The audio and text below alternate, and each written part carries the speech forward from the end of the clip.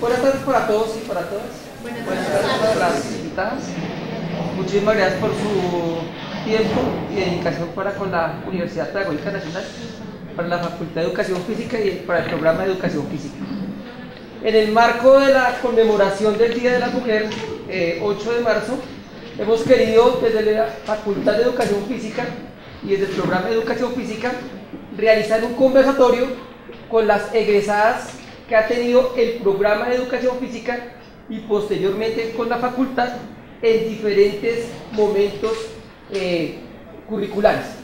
En ese sentido, hemos invitado a nuestras egresadas, Cortica eh, va a tener la oportunidad eh, los compañeros de presentarlas y realizar un conversatorio que está centrado en cómo ha sido o cómo fue el proceso de integración de la mujer al programa de educación física, aprovechando que estamos cumpliendo 80 años de existencia en la historia del país eh, como licenciatura en educación física. Eh, esto eh, entendiéndolo en que el programa de educación física tiene una historia y una cultura que se ha pensado, se ha construido de orden machista o una carrera creada aparentemente para hombres, pero que en el transcurso de los 80 años ha sido eh, las mujeres se han ganado un espacio en este ejercicio y han liderado cambios y procesos curriculares a nivel nacional. Todo el ejercicio está desarrollado por los estudiantes del tercer semestre del grupo 02, jornada tarde, que son los que dinamizan y organizan el espacio. Yo eh, soy coordinador del programa y traigo en este momento la voz de mis compañeros en el taller de confrontaciones, el profesor Víctor Chinchilla, el profesor Víctor Durán, la profesora eh, Lina, el profesor Diego y quien les habla Vladimir. Entonces los dejo con los compañeros para que demos inicio al ejercicio. Eh, una última información, la, nuestra decana Clara Lourdes Peña eh, estaba, eh, había abierto un espacio para acompañarnos en el convertorio, pero en este momento se encuentra en consejo académico y por esa razón nos puede acompañar, pero sí estaba muy pendiente de que que vamos a realizar. Pide excusas y en otro próximo evento nos acompañará. Muchísimas gracias. Muchas gracias. Buenas tardes. ¿Cómo están? Eh, nosotros, nosotros como compañeros nos sentimos muy honrados de estar al lado de estas mujeres en este espacio, ya que vamos a compartir un poco de sus experiencias vividas, las dificultades que han tenido como tal en su proceso de la educación física, cómo llegaron a ser licenciadas, en sí, cómo han sido sus experiencias vividas.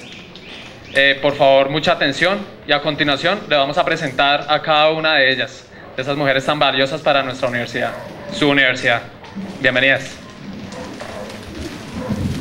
Agradecemos especialmente la asistencia de profesora Neidya Adriana Penagos, egresada en 1997 en la Universidad Pedagógica Nacional, instructora de gimnasia, licenciatura de Educación Física, docente comisión de Secretaría de Educación, docente de la Universidad Pedagógica Nacional, miembro de Asociación de Profesores de Educación Física, licenciada en Educación Física, especializadora en entrenamiento deportivo,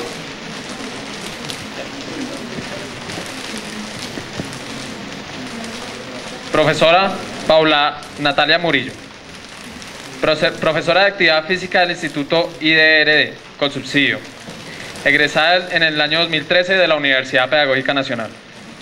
Es también monitora profesional del programa Hábitos y Estilos de Vida, saludable de Coldeportes.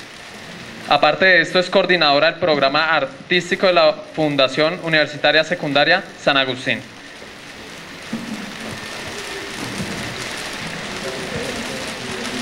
Profesora Marta Moncada de Rojas, egresada en 1959 de la Escuela Nacional de Educación Física, licenciada en Educación Física. Profesora Judith Argenis, egresada en 1959, licenciada, en Educación Física de la Escuela Nacional de Educación Física. Vamos a dar inicio al conversatorio. Entonces espero que por favor todos estemos atentos, los que puedan tomar nota acerca de lo que viene. Vamos a dar a conocer el propósito como tal del conversatorio. Nuestro propósito es establecer un diálogo sobre la formación de la mujer en la educación física de la Universidad Pedagógica Nacional en diferentes momentos históricos, identificando dificultades, retos y oportunidades desde la perspectiva personal, disciplinar y en los diferentes contextos culturales.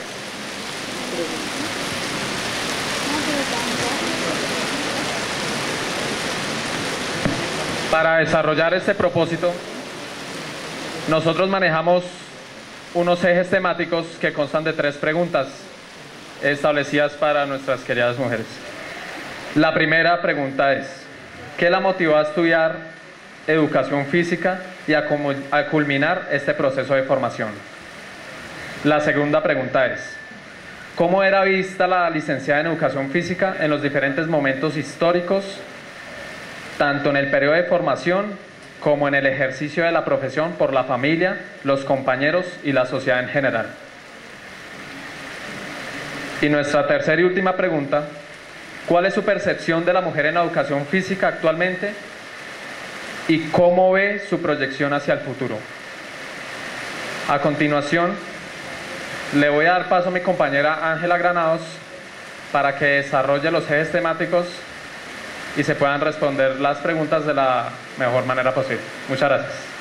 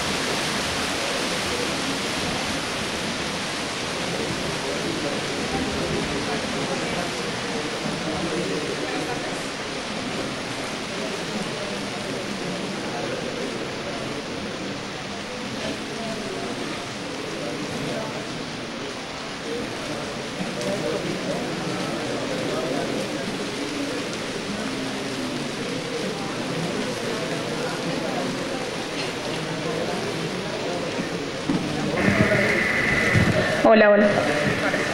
Bueno, bienvenidos a todos. Antes de iniciar, quisiera presentarles a las profesoras Marlene Arias.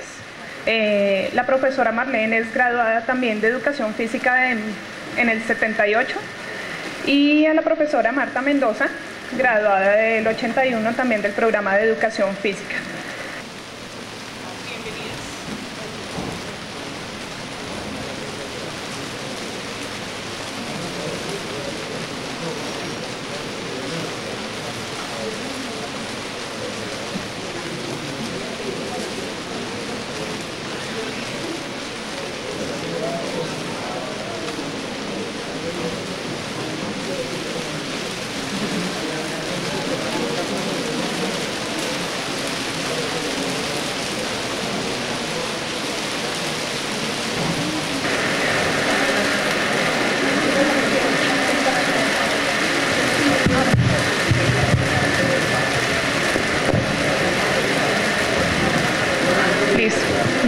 Vamos a hablar inicialmente de la conmemoración que estamos sobre, sobre la cual estamos eh, realizando este conversatorio que es la del Día Internacional de la Mujer.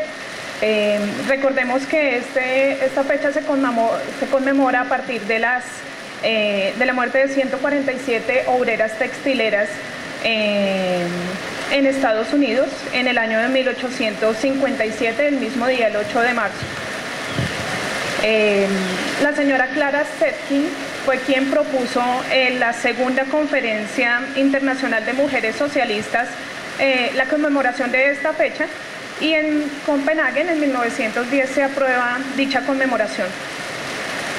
Eh, vamos a recordar aquí algunas de las mujeres que lucharon precisamente por los derechos de la mujer. Aquí probablemente se nos escapan muchas, pero pues vamos a nombrar las, digamos, las más relevantes.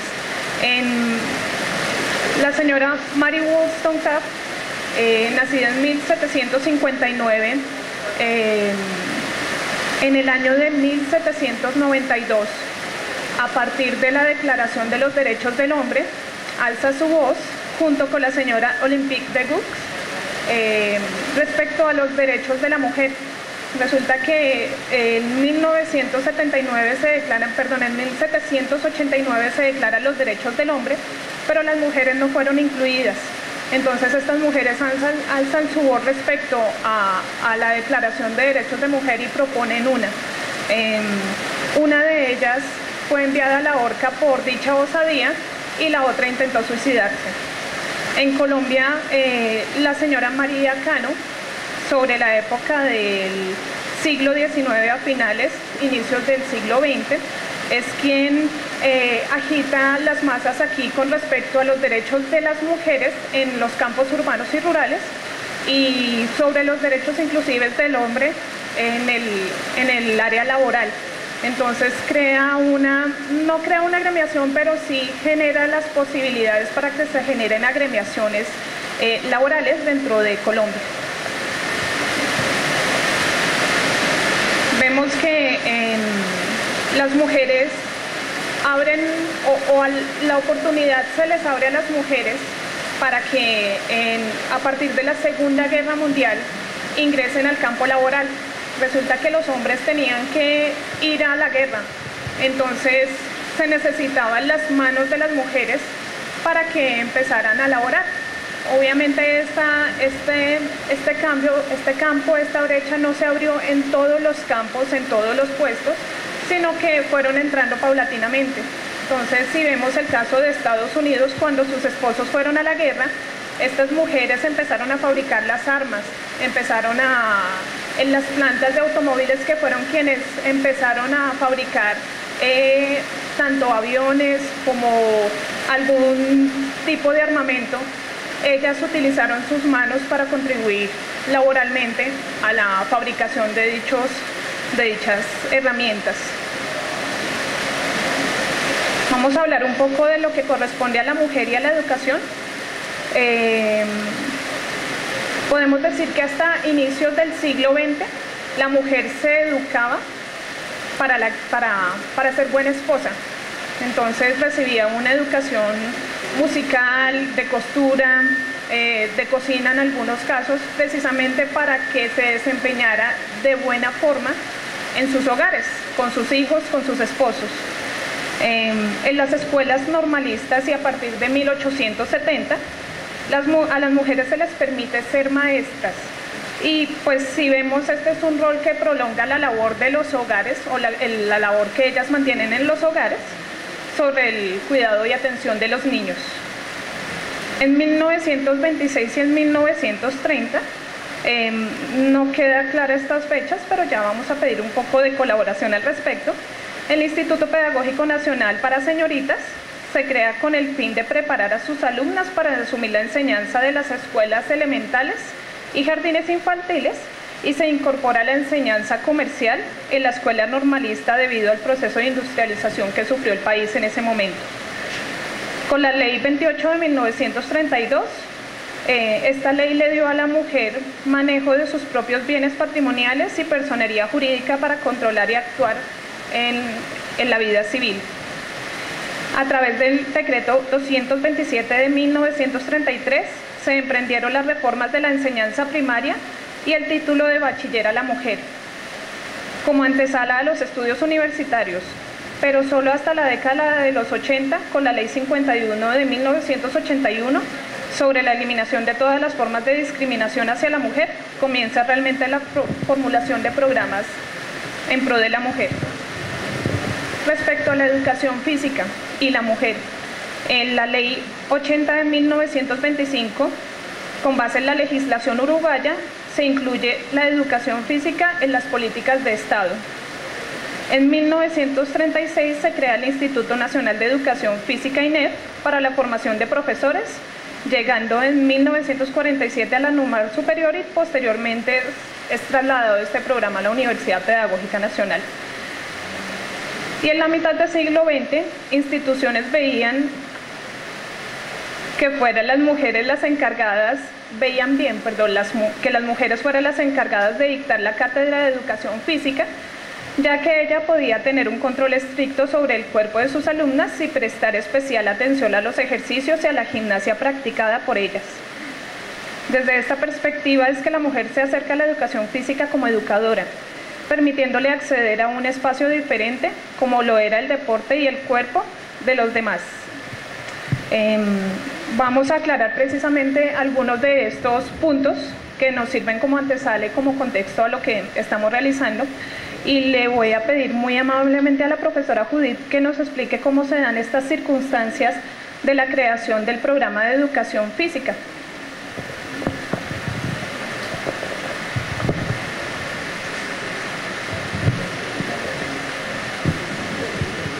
Eh, me parece importante empezar a diferenciar qué estamos entendiendo por educación física. Si estamos entendiéndola como una disciplina académica o estamos entendiéndola como un hecho y una práctica social. Como disciplina académica tiene razón nuestra presentadora. El programa como disciplina académica con miras a formación de docentes se inicia por unas circunstancias como hasta raras. Lo primero que se hizo fue trabajar en función de la preparación de los jueces que tenían que participar en los Juegos Bolivarianos. Esa fue como la primera iniciativa de que esto se tenía que organizar y se tenía que estudiar.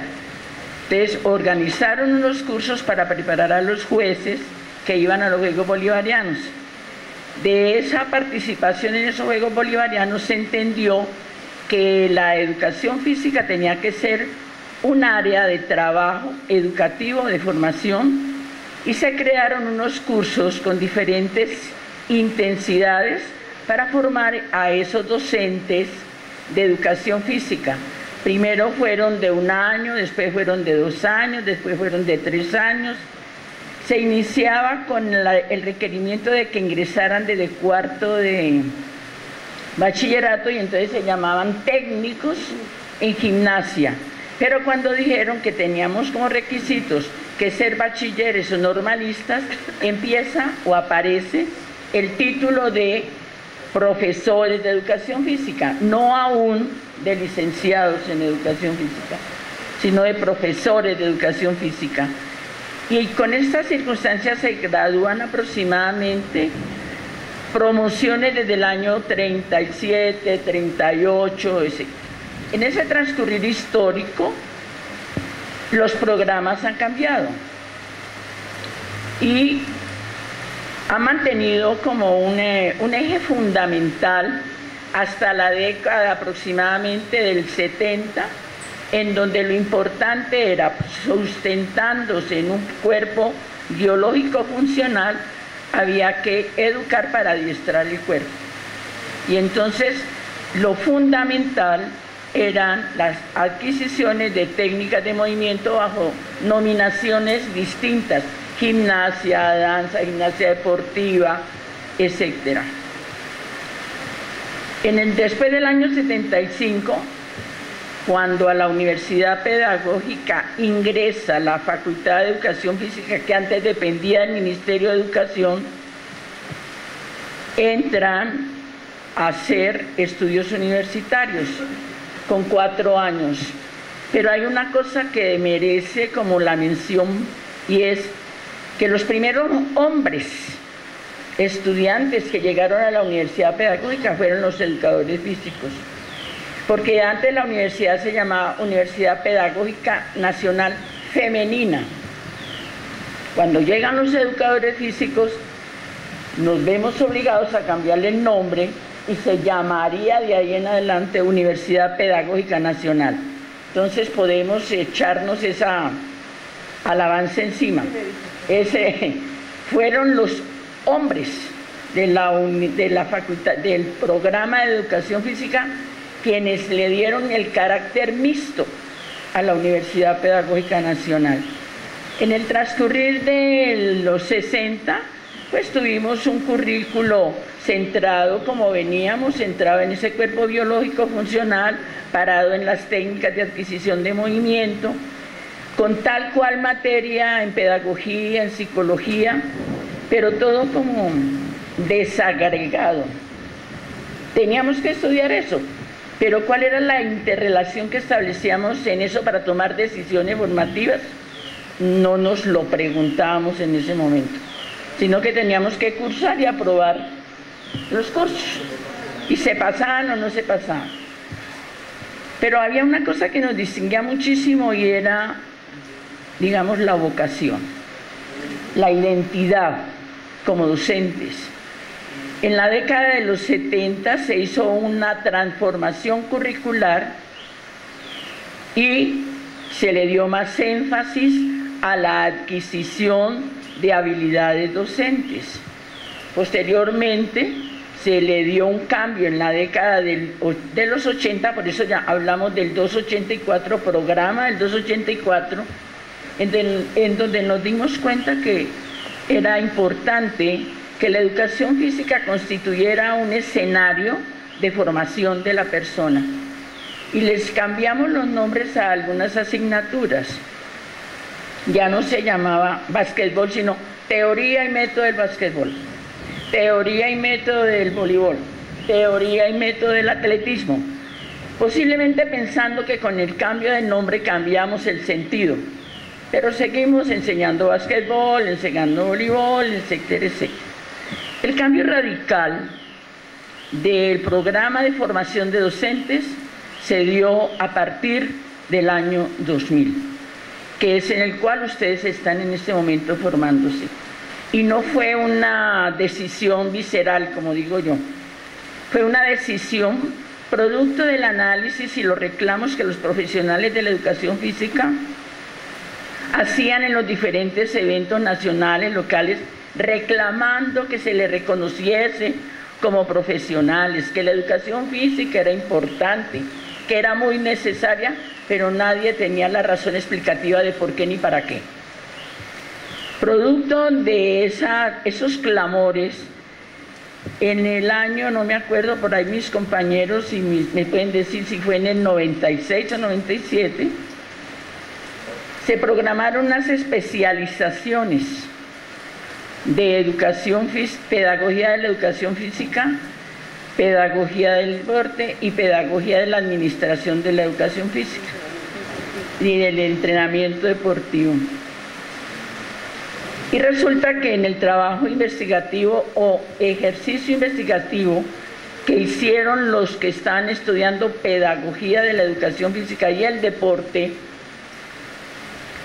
de la educación física más que todo, no el deporte, hicieron unos trabajos investigativos bajo la pregunta de qué se ha ocupado la educación física, de qué se ocupa hoy la educación física y de qué se debería ocupar la educación física. Y con base en eso se hizo una revisión curricular desde las décadas del 37 hasta más o menos el 60. ¿Qué se concluyó?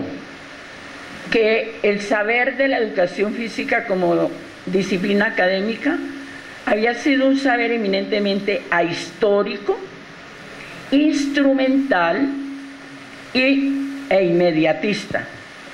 Traducido eso que es, ahistórico. Hacíamos y hacíamos sin reconocer los antecedentes, a pesar de que hay una materia que se llamaba Historia de la Educación Física. Yo no me acuerdo qué se veía ahí.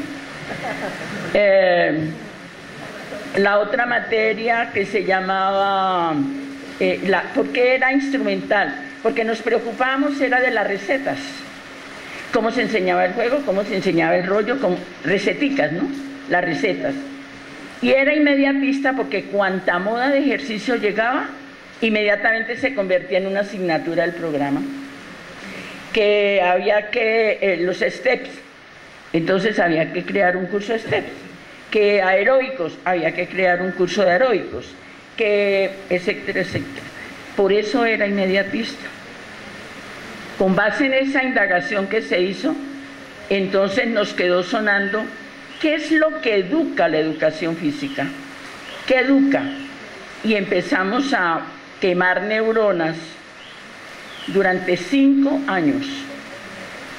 Varios profesores, algunos seguían con su idea del deportivismo, otros seguían con la idea de la salud, etc.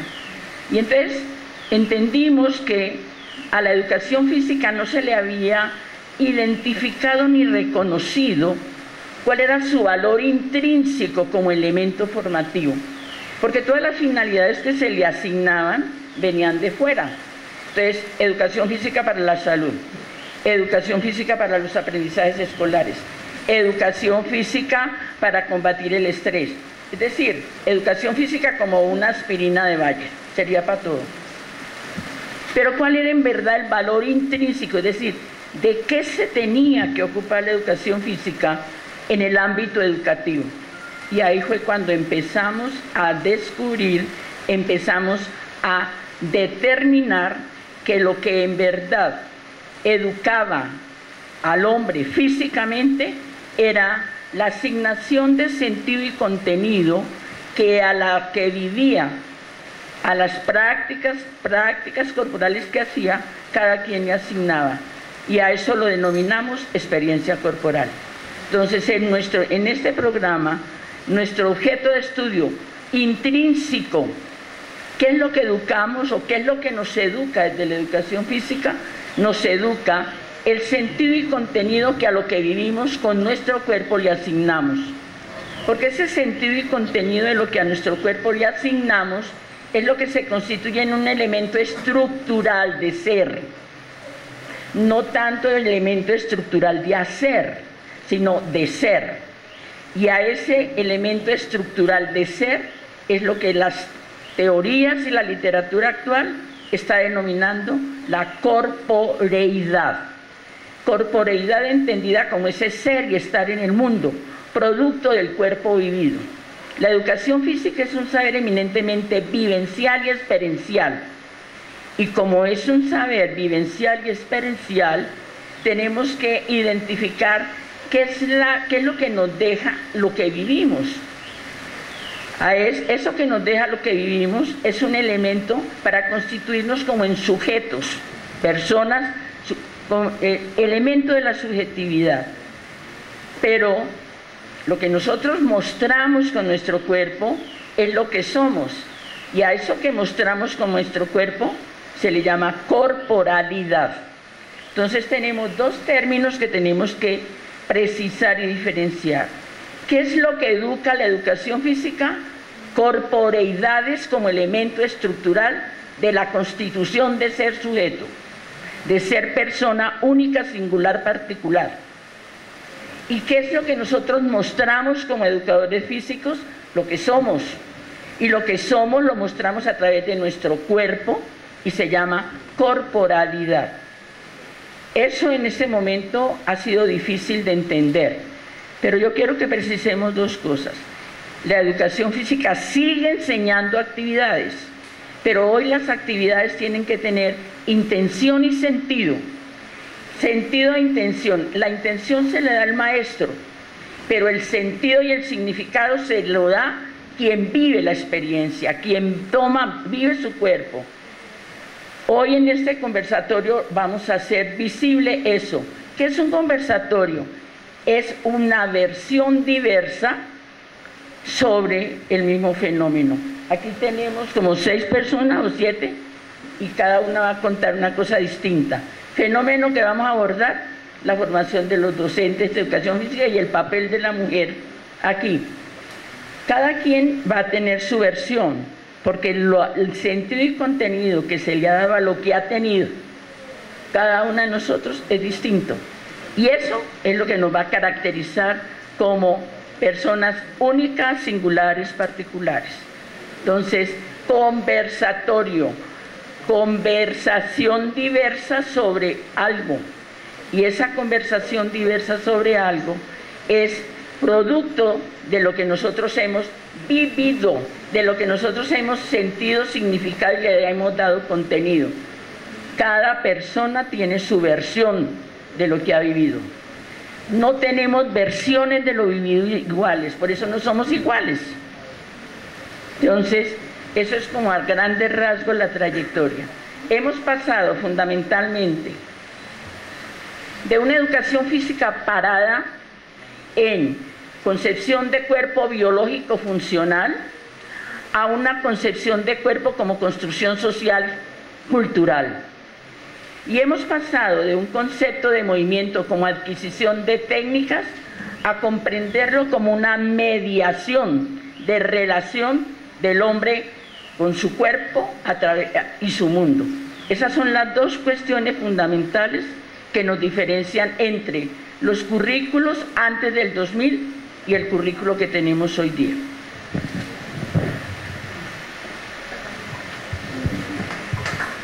Muchas gracias, profesora Judith. No lo pudo haber dicho mejor.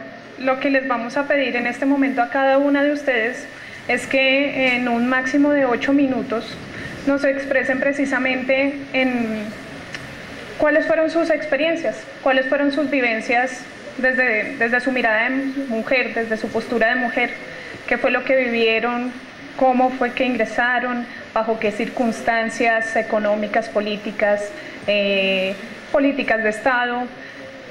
Es, es, su micrófono libre en este momento para que nos cuenten precisamente cómo fue su paso por la educación física.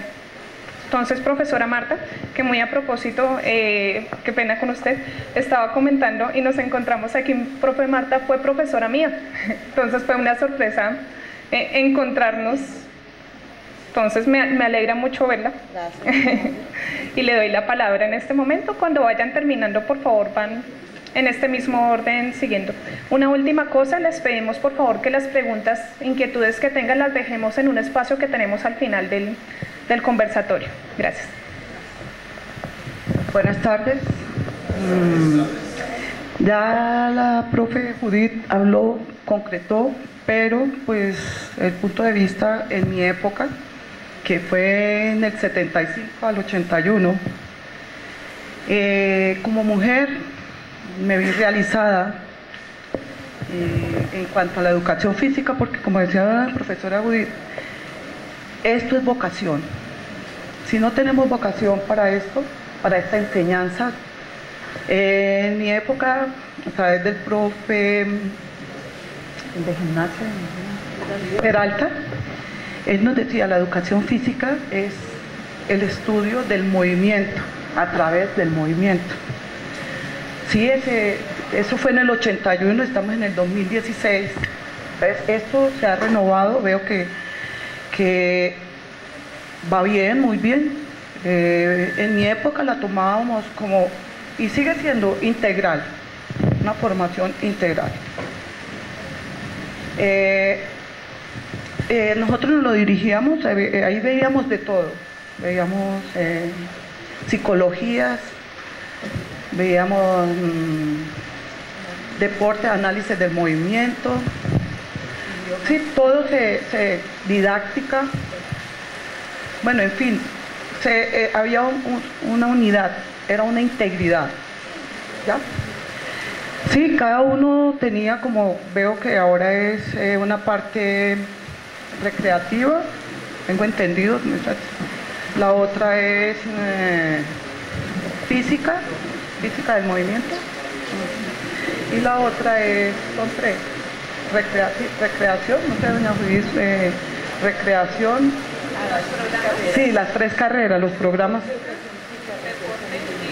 Eso. Y en nuestra época todo estaba integral, ¿ya?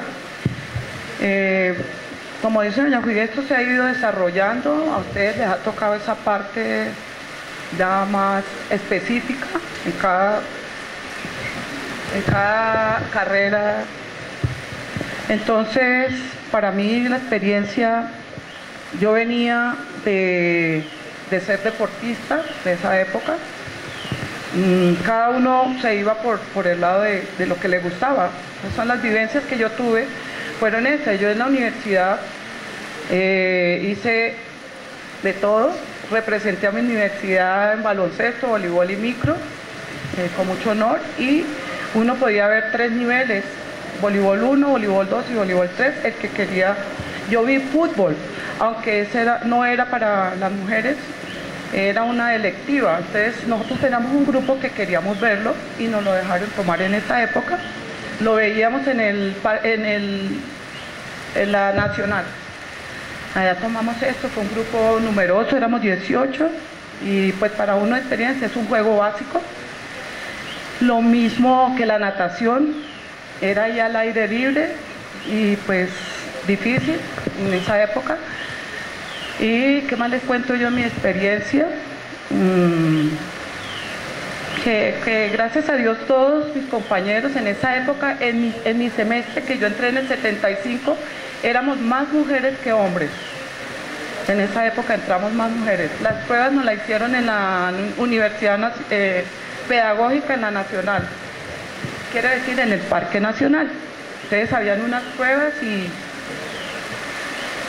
para poder entrar acá, lo mismo que habían unos exámenes médicos, no sé si eso sigue, y pues el que quería y tenía estas facultades y que esto se lleva en la sangre, esto tiene que ser uno docente, maestro por vocación.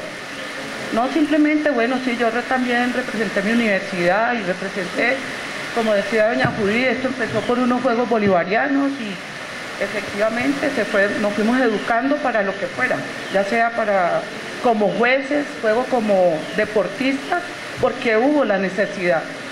No teníamos formadores, no teníamos formadores en mi época, no tenía profesor de educación física, eran militares. Yo me eduqué en el Valle. ¿Ya? Ah, sí, yo me eduqué en el Valle del Cauca. Y allá eran militares, era todo, era a izquierda, el escuadrón, el, y tomen un balón y vaya a juego. Esto ha tenido un cambio y hemos ganado. Y las mujeres mucho más. Porque nosotros lo llevamos por dentro. Esto no, no es porque sí. Y hay que estarse actualizando y hay que estarse yo pues ya he cumplido, he dado un poquito, me ha gustado siempre la primaria, porque ahí está más, esa es la esencia donde, que tiene eh, la formación del individuo, la primaria. Desafortunadamente, nuestros, eh, ¿qué le dijera yo? Nuestros políticos nos quitaron una parte de eso, ya la primaria, mandaron al bachillerato, ojalá que volvamos al preescolar donde se debe tener los profesores de educación física, porque es ahí dentro de la motricidad y del movimiento que podemos formar al hombre de hoy. No solamente en la parte física, sino intelectual. Entonces, muchachos, tienen mucho. Ya nosotros, yo ya estoy, me estoy pensionando, pero todavía tengo cuerda para rato. Y muchachos, les deseo lo mejor. Esto es de vocación. Esto no es de que, allá fútbol, porque aquí micro, que no. Entonces, muchachos, los felicito y muchas gracias.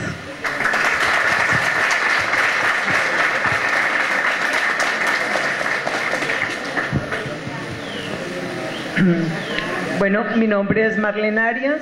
Sí, efectivamente, salí en el año 1979 y mm, bueno, ¿qué me motivó para estudiar educación física?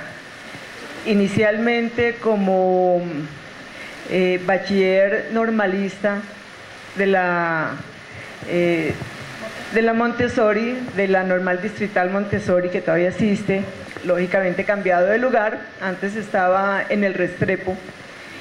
Eh, exacto, me motivó eso, haber estudiado en esa normal y tuve una buena profesora de educación física, que entre otras cosas creo que compañera de aquí de, mi doctora, eh, Cecilia Gil. ¿Cecilia? Cecilia Gil. Sí, bueno, igual. Em,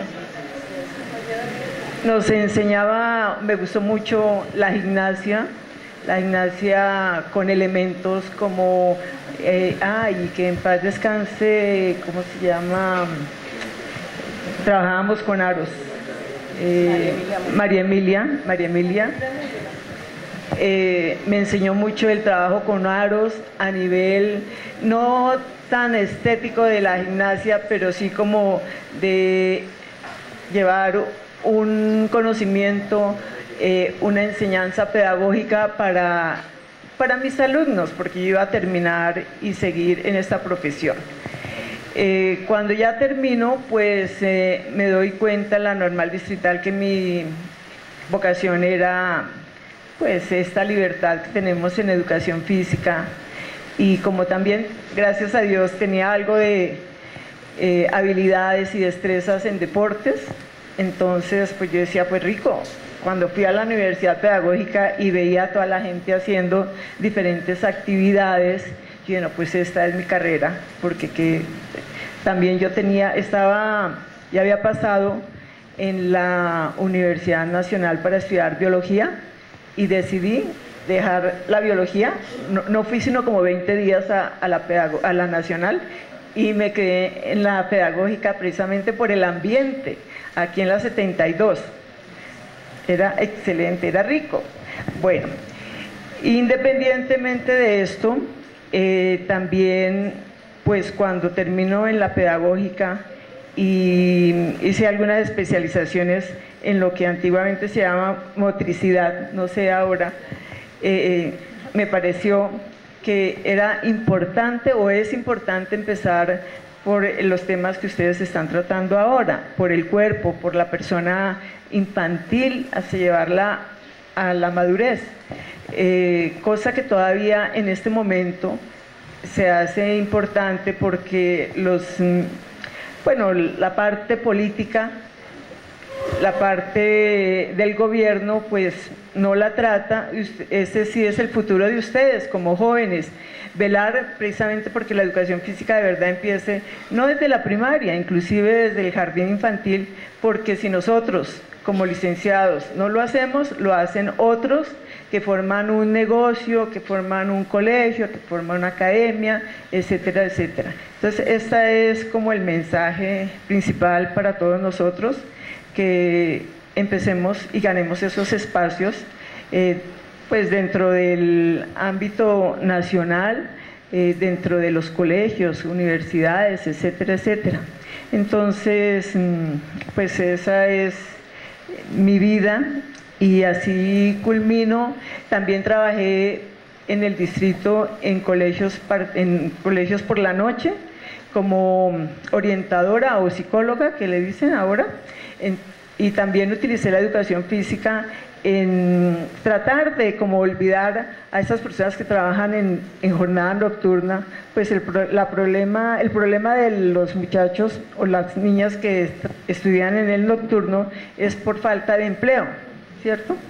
Y de pronto en este momento estamos tratando el maltrato a la mujer también, entonces habían muchas madres de familia que eran sometidas, todavía existe eso, entonces yo, como no podía ir a los colegios, a las casas o ir a la policía a denunciar todas estas cosas, yo lo que hice es tomar como el área de los deportes y hacer esto en educación física o aunque no se hacía educación física en, la noche, pero sí tomé como campeonatos eh, y festivales deportivos en la jornada nocturna que fue el colegio hacia el lado de San Cristóbal, San Blas y allí se hicieron los primeros juegos de colegios nocturnos, no sé, pues casi creo que no existieron. Es un poco difícil, pero ¿cómo se hacía? Entrábamos como cinco minutos más temprano, no formábamos, ya con los otros profesores de las áreas eh, no tomábamos descanso, sería el horario seguido y pues yo me quedaba desde las 9 de la noche, como hasta las 10 y media, 11, ahí yo solita, sí ponía monitores a los más, eh, los, los muchachos que eran con difíciles, que tenían problemática como la que tenemos ahora de robo, de atraco. A estos muchachos yo los cogía y les decía, bueno, si ustedes eh, se pierde un bombillo, se rayan los carros de los profesores, etcétera, etcétera, se acaba los deportes. Entonces fue la única forma en que los muchachos volvieron a los colegios porque a veces iban, no iban, eh, bueno, etcétera, etcétera. Entonces es una forma también, y más ahora, vuelvo a repetir, que mm, estamos el Día de la Mujer, eh, siempre seguimos con la problemática de todos los abusos, entonces esa sería una forma también para que ustedes lo piensen, a ver cómo solucionamos el, este maltrato que se le hace más a la mujer. Bueno, nosotros también maltratamos a los hombres, ¿no? Pero, pero más que todo, entonces ahí hay mucho trabajo por hacer hay mucho trabajo por hacer y que, y que tenemos que, que, conseguir aprovechar toda este, este nuevo programa de la Universidad Pedagógica y aplicarlo a nuestra vida para hacer formadores. Entonces, esa es mi experiencia, espero que, pues, que les haya llamado la atención y el futuro es de ustedes, amigos. Felicitaciones por estar acá.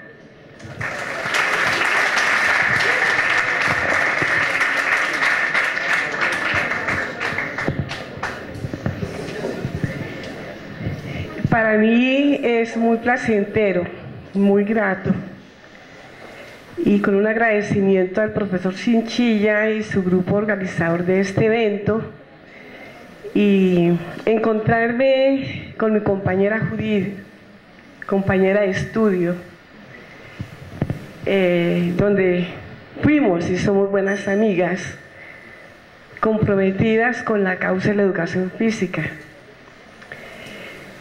Igualmente, enmarcar este evento de los 80 años de la educación física en Colombia como carrera docente, dándonos una prioridad a las mujeres, es eh, algo que aceptamos con mucha alegría. Igualmente, el estar en este momento acá es recordar los tiempos que la universidad me dio la oportunidad de dar mi consenso profesional a la Facultad de Educación Física como profesora y posteriormente como directora del programa de Educación Física y donde tuve una etapa de enriquecimiento porque encontré un grupo humano de profesores muy entregados desde su punto de vista a la causa de la educación física con el fin de marcar la diferencia y dar como alma mater lo mejor a la educación superior en la formación del recurso humano. Eh, Marta Moncada es de Pamplona, norte de Santander. Eh, cursé estudios de normalista como maestra y allí se me despertó el interés y aquella venita por la actividad física, viendo a una hermana de la presentación que nos dictaba la clase, y el ruido del rosario, el ritmo, y la forma como manifestaba para darnos un ejemplo de que maestro que no canta y no juega no puede ser maestro. Posteriormente llega a la normal de Pamplona eh, el profesor Rafael Azula, que era egresado de la Universidad de Tunja en la época en que la facultad estuvo allá. Y yo le preguntaba, profesor, ¿cómo hago para ser yo maestra de gimnasia? En ese momento no, no comentábamos educación física, gimnasia. Me dijo, mira, escribe a la Dirección Nacional de Educación Física. Y yo escribí diciendo quién era y por qué deseaba seguir la carrera de ser maestra de gimnasia. La respuesta, eh, a pesar de que ya me habían nombrado de profesora en un pueblito del norte llamado Toledo como maestra en la escuela rural, me llega un telegrama donde me dicen que se me adjudicó una beca de 20, 20 pesos, era judío, 90 pesos. Eh, la niña pueblerina de Pamplona también deseaba conocer la capital de la República, que era el mayor, la, mayor ambición. Y llego a la Dirección Nacional de Educación Física eh, y me dicen, ¿usted por qué va a estudiar? Le dije, porque yo quiero ser docente, quiero enseñar. Y eh, me encuentro con la escuela, mm, con la Facultad de Educación Física o Escuela de Educación Física Femenina. Los dos primeros años, como comienzo Judith, pues fue una educación aparte de la escuela femenina y aparte de la escuela masculina. En el último año fusionaron en una sola institución y dependíamos del Ministerio de, Educación Nacional. Ya nos acercamos a la coeducación, ya teníamos que encontrarnos con, con el compañero hombre. Nosotros iniciamos ocho mujeres y cuatro hombres, de los cuales terminamos seis mujeres y los cuatro hombres, de los cuales ya muchos no están con nosotros. Eh, haciendo cuenta del año, 50, del año 60 en que comenzamos a ejercer al 2016, podemos decir, junto con Juid, que le hemos entregado a la causa de la educación física 52 años de ejercicio profesional.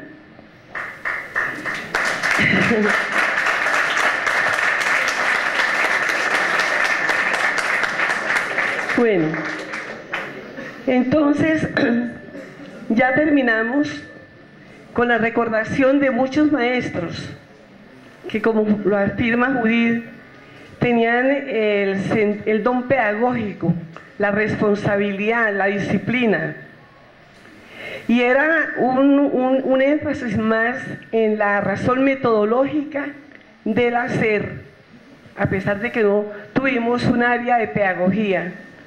Pero ello nos, nos convenció, nos enamoró de lo que era la educación física. Terminamos, fui, se queda en el Liceo Pasteur de Bogotá, colegio importantísimo, y yo me fui a la normal de Manizales. Me, gustó en esa época, lo llamaban a uno al ministerio, ¿y usted dónde quiere trabajar? Yo quiero en normales porque quiero formar maestros. Allí les tendían a uno una sábana, vea, profesora, hay 15 normales, ¿usted a dónde quiere ir? Entonces yo escogí clima frío, porque clima caliente tenía una prima más en sueldo, pero consideraba que, yo no estaba en condiciones de trabajar en un clima caliente. Allí en la normal, y tal vez yo voy a mezclar mi experiencia con anécdotas, llego a una institución de prestancia social, porque era la normal única, el saludo a la nueva profesora y reunión de profesores, fueron cuatro profesoras más de, de la Universidad de, pedagógica en otras áreas. Y la primer, lo primero que me dijo la, la rectora, usted debe preparar algo porque la normal cumple 60 años. Algo para mostrar, porque viene el gobernador, el secretario y la sociedad. ¿Qué hizo Marta? Pues será una revista como con 800 niñas.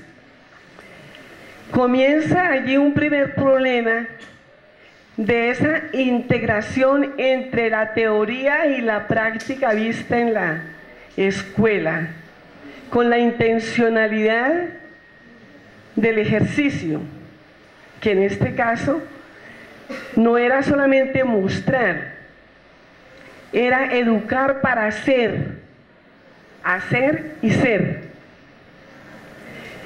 Viene otra, otra parte. Allí se trabajaba con, con falda, porque las niñas no podían levantar pues la pierna porque, ay, ay, ay. Doña Lucrecia, se llamaba la rectora, yo con esa uniforme, yo no puedo hacer una demostración. Le traigo cuatro modelos de uniforme. Un chorcito por acá, por acá y un bombachito. Me dijo, bueno, es que de acuerdo a la cultura de acá, vayámonos por el bombacho. Entonces el bombacho era así, un poquito que se dotaba la formita del, cuerpo de la niña y ya pude salvar ese problema. ¿Cuál fue mi actitud? Mi actitud no fue enfrentamiento, que es uno de los pecados con los cuales peca el profesor de educación física, que cuando hay una oposición o un punto de vista diferente, muchas veces la respuesta es con adrenalina, con choque, con disgusto y, y un poco irreverente. No, allí tocaba ser muy mm, sutil y mostrar la altura de un docente de educación física. De Manizales yo pasé a Medellín, al Centro Educacional Femenino de Antioquia. Allí ejercí mi docencia, eh, muy interesante. Y luego me llama el profesor Álvaro Sierra que quería que me viniera a Bogotá a trabajar con él. Y me nombró en una escuela El Carmen. Allí colaboré y tuvimos la oportunidad de presentarnos en un congreso panamericano con todas las escuelas de Bogotá. Fue un trabajo entre lo gimnástico y lo folclórico muy bonito. Estando allí, me llama una profesora, Beatriz Villa, que trabaja en la Dirección Nacional de Educación Física. Y me dice, Marta, yo me voy a jubilar, pero deseo que una profesora venga a ocupar mi puesto. Entonces me pasaron a donde el director Guzmán me hicieron un examen, que yo que sabía educación física, que yo todo esto, y me nombraron como técnica en la Dirección Nacional de Educación Física. Allí tuve la dicha de trabajar con el profesor Humberto Vaca, de grata recordación con el profesor, mi maestro Alcides Pinzón. Y tuve el primer problema, cómo yo de ser docente paso a una administración pública. Es muy diferente. Más cuando yo estaba a nivel nacional. Mi refuerzo fue entrar a la Escuela Superior de Administración Pública y hacer dos años de estudios. Y fui asimilando la administración pública. ¿Qué hicimos en la dirección? Se hizo el primer programa de educación física para educación media, porque no existía. Existía una cartilla que hizo mi maestro, perdón, mmm, Numael Hernández, pero era centrada en la gimnasia. Con el profesor Pinzón eh, hicimos un currículum centrado en contenidos. Muy actividad instrumental, actividad instrumental. De ahí mismo en esa, en esa Dirección Nacional de Educación Física se organizaban los intercolegiados, los desfiles de la juventud, y leyendo la prensa, encontré un boletín que decía que en ese momento estaban en Colonia, Alemania, el grupo gimnástico argentino haciendo una demostración de su sistema gimnástico. En esa época era Cayetano Cañizares el jefe, dije, Cayetano, sería interesante traer ese grupo a Colombia. Me dijo, hágame un presupuesto. Y lo cierto es que el grupo vino, un grupo eh, con una nueva tendencia metodológica no centrada en escuelas gimnásticas europeas, que se trabajaba con posiciones eh, muy definidas, sino que este sistema se basaba en los núcleos de movimiento y técnicas de movimiento. Lo trajimos, inclusive en la Universidad Pedagógica se hizo en alguna oportunidad una capacitación. Bueno, estando allí en la Dirección Nacional, leo en la prensa que convocaban a un concurso de programador de educación física para una reforma educativa de educación media diversificada, los INEN. Yo me presenté me presenté enyesada, con muletas, porque estando en, en la dirección nacional, un cuerpo de paz que me tocó coordinarlo, hicimos una, un taller de baloncesto y yo me desgarré el tendón de Aquiles izquierdo, entonces fui en muletas, presenté el concurso, la entrevista, el examen y me seleccionaron. ¿Qué reto y qué oportunidad hubo allí? Entrar a algo nuevo en el sistema educativo, con nuevas metodologías, conociendo más de cerca la problemática del país en todo el sector educativo. Y encontrarse uno en un grupo interdisciplinario donde habían programadores de todas las áreas, donde estaba el arquitecto, donde estaba el ingeniero. Y fue una linda escuela donde se logró hacer un currículum muy criticado. Eh, lógicamente, pues habían programadores dos o tres por asignatura.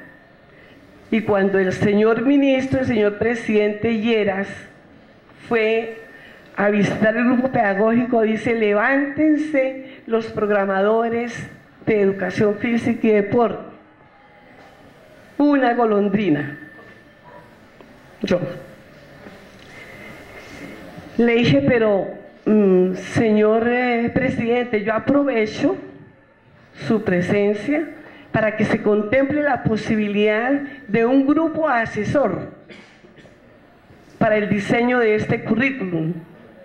Y es así como los profesores de la Universidad Pedagógica y Universidad de Antioquia dieron su aporte y su experiencia al diseño de este currículum que por primera vez aparece en el país con una estructura de tres momentos, una estructura curricular, una etapa de fundamentación, primer y segundo semestre, una etapa de profundización, tercero y cuarto, y una tercera de iniciación a la especialización, quinto y sexto. Allí el debate sobre la intensidad horaria fue tenaz. Me sacaban argumentos como por ejemplo, ¿Para qué tres horas? ¿Para qué dos horas? Si con 12 minutos que usted camine o trote o corra según Cooper, tiene resistencia cardiovascular. Entonces ahí venía el debate con altura, con un discurso eh, muy consistente para convencer a los que tenían que tomar la decisión en las intensidades horarias. Me pusieron a hacer presupuestos. Son 20 INEN. ¿Cuántos profesores necesitan? Si es una hora, si son dos, si son tres.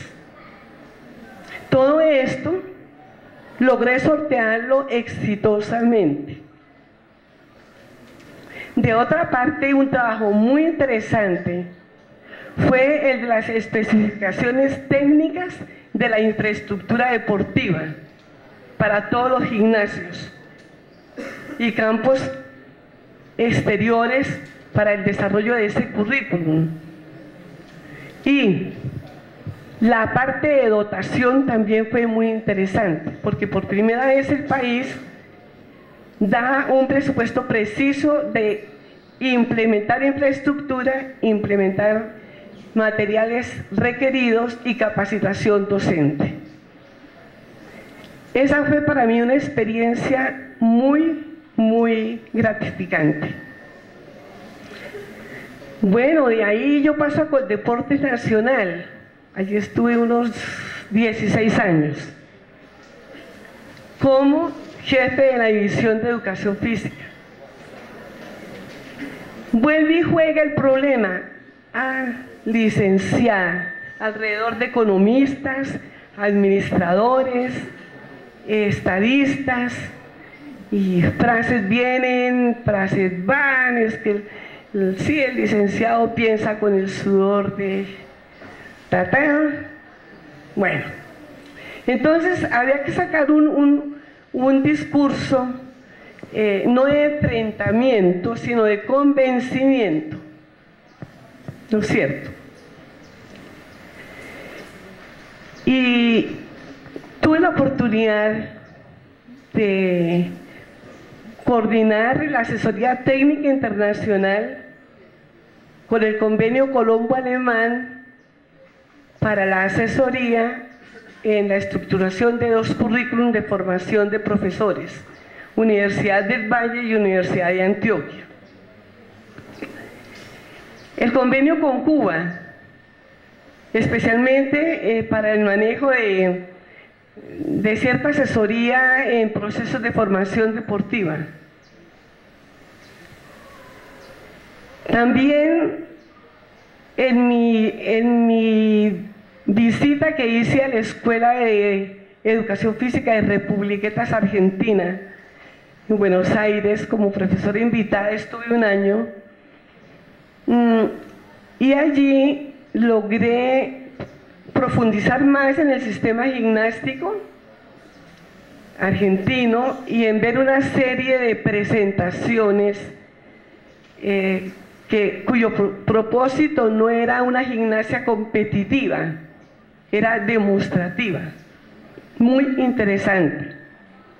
Esa idea, un poco a nivel de Colombia, fue la que tratamos de hacer con seis gimnasias nacionales. Igualmente con deportes logramos proponer para el desarrollo y la educación física de nivel primario eh, unos centros de educación física haciendo un sondeo en, eh, en, el país sobre las escuelas y los espacios que pudieran eh, servir para el desarrollo de la educación física. Se ubicaba allí el centro, el centro era la infraestructura física externa, internamente una oficina para profesores y materiales. Y a ese centro acudían o iban los niños a recibir la clase de educación física. Bueno, terminado en Coldeportes, ya fui, me había dado la oportunidad de ser profesora, pero me llamó el doctor Galo, que me invitaba a que estuviera en su gestión como directora del programa, que ya les comenté. Y ya entonces llegó a una institución privada, donde estuve 15 años, la Corporación Universitaria Senda. Inicialmente fui la directora del programa de educación física y entrenamiento y técnico profesional en entrenamiento deportivo y posteriormente asumí la rectoría, eh, donde terminé satisfactoriamente mi gestión. Entonces, al terminar una gestión con este recorrido, donde no fui sola, fui rodeada de colegas, de jefes, donde les ayudé a crecer y ellos me ayudaron a crecer. Y donde guardo con mucha gratitud para ellos y mucho reconocimiento. Tengo que hablar también de exalumnos. Para mí ha sido muy placentero encontrar en este momento egresados de la Universidad Pedagógica del mismo senda, donde están en espacios como Ministerio de Educación Nacional, como Comité Olímpico Colombiano, como cajas de compensación familiar, donde han demostrado su capacidad y su profesionalismo y donde han cuidado el porte, porte, la distinción y la presentación del docente o del administrativo.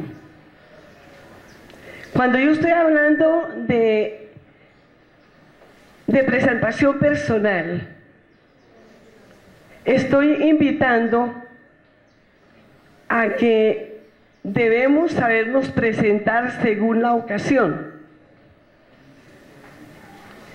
Tuve la oportunidad en mi recorrido profesional, muchas veces en reunión de secretarías de educación, donde estaba el secretario de educación y, y demás, profesionales de educación física en sudadera. Eso no tiene presentación. No tiene presentación el sobrepeso. El sobrepeso. ¿Por qué? Porque el profesor es admirado, y lo puntualizó muy bien Judith, por su presentación.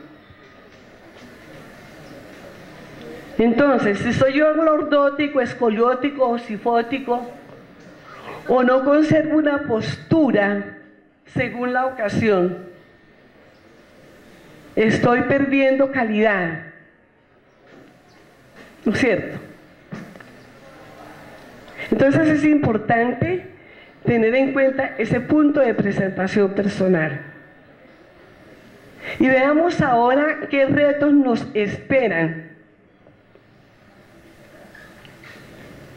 El primer reto es saber ser maestro. Es el primer reto. Si no, no lo sea. Porque el maestro tiene que mostrar salud, mostrar vitalidad, mostrar alegría de vivir, demostrar que el cuerpo no se hizo para enfermarlo, para maltratarlo, para comercializarlo o para matarlo o destruirlo. Porque el cuerpo es lo más, somos maravillosos por tener un cuerpo. Para pensar, para actuar. Entonces, el primer reto es ser maestro y marcar la diferencia. Marcar la diferencia con la ética profesional, con la eficiencia cuando yo hago la tarea bien y con la eficacia cuando ese hacer tiene impacto en mi ética y en mi misión institucional según donde, según donde esté. ¿Ya? A mí no tienen por qué respetarme por el simple hecho de que, sí, como es licenciado, pues saco pecho.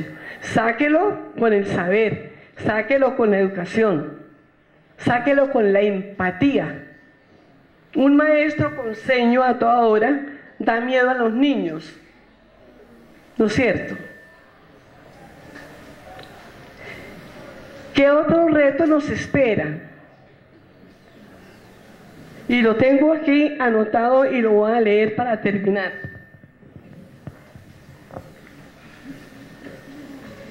A ver, ¿dónde está? Sí, señora, aquí está. Responder a los retos. ¿Cómo aprender a ser y ser con el cuerpo? Y eso no es solamente para ustedes, es para todos los niños que le van a abrir a ustedes sus mentes y sus corazones y su vida. Esa es la gran responsabilidad cada 45 minutos. ¿Cómo formar al alumno que ya es un nativo digital? Ya el dedo es a toda hora ahí. Ya es otro tipo de alumno que no quiere aprender lo que usted quiere enseñarle, sino lo que él quiere aprender. Teniendo en cuenta, ¿no es cierto? Las variables de crecimiento, desarrollo, maduración, edad biológica, aptitudes y actitudes. Esos son el tejido que ustedes deben hacer. ¿No es cierto? ¿Cómo orientar el alumno del siglo del conocimiento, que es un pensador crítico? Antes era un niño sumiso que no podía hablar. Ahora es un pensador crítico.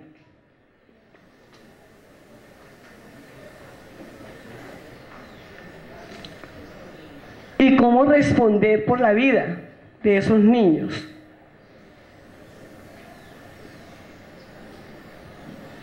Ahora, pienso que, que otro reto a lograr es de orden de organización profesional. Yo no tengo por qué hundir a un compañero. Estoy en la obligación de invitarlo al diálogo para analizar lo que está mal visto en él, apoyarlo. Entonces, si no hay ese compañerismo, si no hay esa, esa lealtad, ¿no es cierto? No podemos crecer de ninguna manera. Ahora, universidad pedagógica debe marcar la diferencia sin desconocer que las 60 facultades de formación profesional en educación física, deporte y recreación son buenas, son excelentes, pero nosotros tenemos que ser más, más y más excelentes. Bueno, por último, ¿cómo construir una identidad corporal social? En este momento, Organización Mundial de la Salud. En este momento, los médicos que respeto tienen como el protagonismo de la actividad física preventiva. Y piensan que los educadores físicos no tenemos las bases y las evidencias de demostrar que nosotros cada 45 minutos estamos dando salud.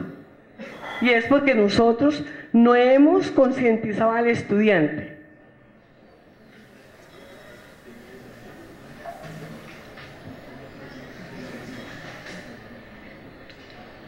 Y de hecho, lo que nos viene, se tendrán que hacer modelos diferenciales de educación física en el país porque son sectores sociales diferentes. Una cosa son los jóvenes que están en las escuelas y otras son los que tenemos que rehabilitar en el posconflicto. Y estamos listos. ¿Cómo abordar el respeto del cuerpo para evitar los embarazos prematuros? Si yo no le enseño a la niña a dignificar su dignidad y su cuerpo, y decirle, mijita, el hombre va hasta donde usted le permite, vamos a seguir en el mismo problema. Y eso es obligación de la educación física. El respeto a la dignidad, el respeto al cuerpo. Y por último, porque ya me alargué más del tiempo, decirles y desearles a cada uno que sean perseverantes en seguir esta carrera. Es una carrera humana, es una carrera lucrativa. Es una carrera que le, le da al licenciado la oportunidad de relacionarse interdisciplinariamente, no solamente desde lo académico, sino desde lo institucional. Y que busquen espacios a alto nivel del gobierno y de las entidades privadas donde podamos ser orgullo de lo que es nuestra profesión. Desde luego todo esto se da con la luz divina, ¿no? Muchos éxitos y muchas gracias.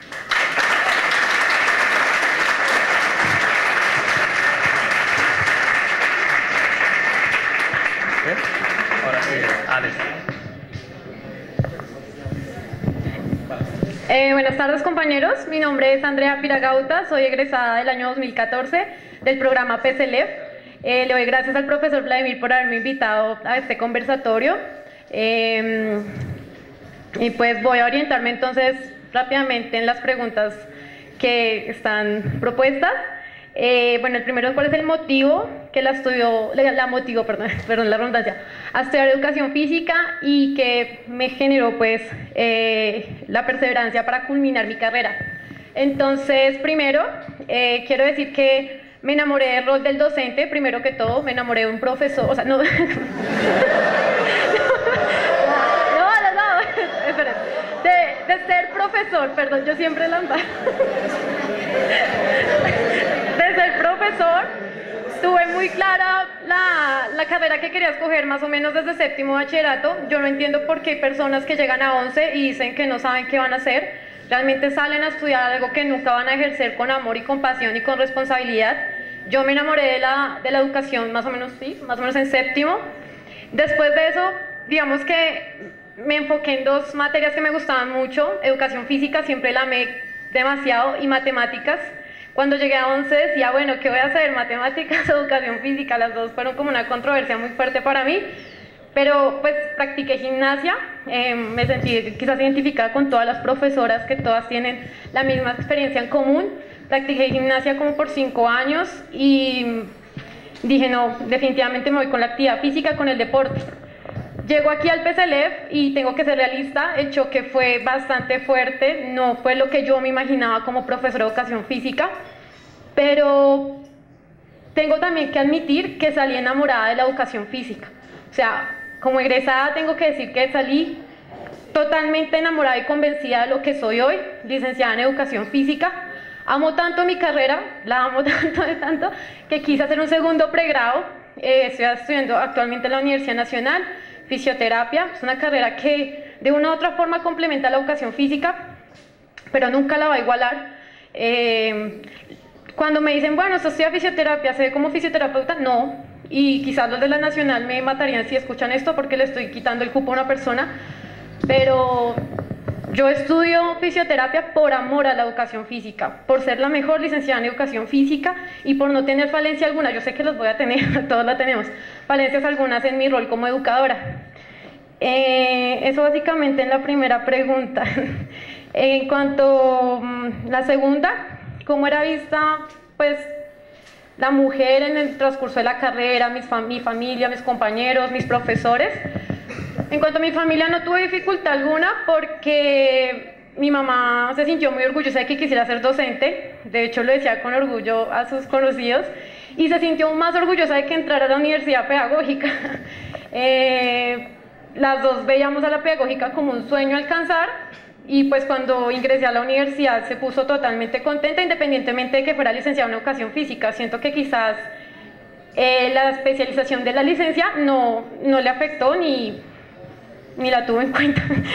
eh, mis compañeros, en cuanto, bueno, las experiencias dentro de la carrera, tengo que decir que como mujer sí sentí implícitamente, aún se siente la discriminación por ser mujer, no voy a decir que no, sí se siente. Mm, quizás una de las dificultades fue mantener los gustos por algunas actividades que lamentablemente segregan y no sé si va a crear controversia con lo que voy a decir, pero tenemos todavía la costumbre de, pensar que algunas actividades mmm, afeminan al hombre y otras masculizan a la mujer, ¿sí? Entonces vemos una persona jugando, no sé, fútbol, una mujer jugando fútbol y inmediatamente decimos, mmm, bueno, ustedes me entienden. Y vemos quizás a, un hombre haciendo ballet y entonces también, entonces ese fue como una de las dificultades que tuve en el proceso de coeducación, o sea, cómo eh, estar, no, ¿cómo se dice? Cómo estar inmersa en mis prácticas cotidianas dentro de la carrera sin mostrar debilidad o masculinidad o feminidad alguna por la actividad particular que se realice. ¿Sí me hago entender? Esa fue como la dificultad. En cuanto a los retos que se me presentan dentro de la carrera, pues salen también de, de esta misma percepción. Y es mostrar quizás la fortaleza eh, y el potencial pedagógico que se puede tener como mujer. Tuve una experiencia, se los voy a contar, eh, cuando salí uh, ya como egresada, eh, vincularme en el campo laboral. Eh, hubo una vacante en un colegio para dos, para dos áreas, para el área de danzas y para el área de educación física. Entonces, pues el colegio es un poquito pesado y el rector muy firmemente me hizo entender que no, que era mejor que me fuera con danzas porque se necesita algo más de rudez y carácter para mantener a los chicos en educación física, cosa que no estoy de acuerdo y gracias al PSL todos sabemos que no se necesita una educación tradicional militarizada para ser educador físico. Y finalmente, la percepción de la mujer en la educación física y su proyección hacia el futuro. Eh, bueno, la proyección de la percepción de la mujer eh, y la proyección, dignificarla siempre, empoderarla del conocimiento. No quiero ser conveniente con lo que voy a decir, pero un ejemplo perfecto es la profesora Judith. Eh, el sensei de la educación física y se puede, se sabe, o sea, se se demostró que, o sea, no es cuestión de género, el hecho de que yo esté aquí dando un discurso quizás feminista no quiere decir que estoy de, por debajando a los hombres en ningún momento, es cuestión de equidad, equidad no igualdad, eh, generando entre las relaciones intergenéricas, ¿sí? Lo que, lo que creará pues una sociedad más justa, obviamente. Em, y ya, pues finalmente quiero felicitarlos a todos por estar estudiando educación física. Yo creo que es el área más bonita que tiene la educación. Eh, espero que todos estén enamorados de lo que están haciendo y si no, es momento de, decir. Pues, eh, quiero decirles que estudien autónomamente. La universidad no se los puede dar todo, no se los va a dar todo. Es responsabilidad de cada uno de ser un buen profesional. Eh, sinceramente, Estudiar educación física es muy rico, es muy fácil por ende, cuando amamos la profesión, entonces disfrútenlo, sean autónomos de su, de su, proceso también, no, no, no le dejen las manos todo a la universidad, yo creo que no debería ser así, ni al docente. Y, mm, y finalmente quiero decirles que por favor nunca, nunca vean a la educación como un negocio. Y eso es todo.